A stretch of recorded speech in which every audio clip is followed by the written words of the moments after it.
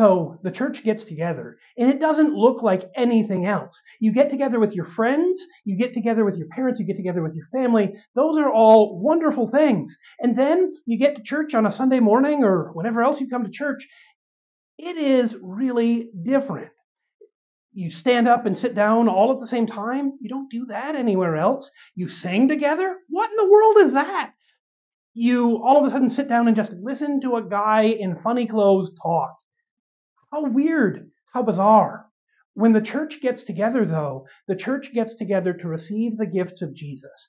Everything that we do in the church service and everything we receive in the liturgy is all about what we get from God. But even there, liturgy, a strange word. It's not even English. It's Greek.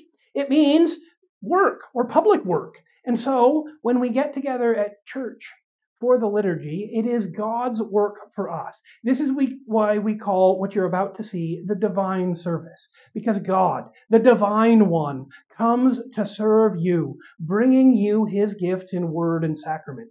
Is it unique? Absolutely. And that is why it's wonderful. So as you come on this journey today, Pay attention to the wonderful, unique gifts that God gives in His divine service as God does His work of liturgy for you.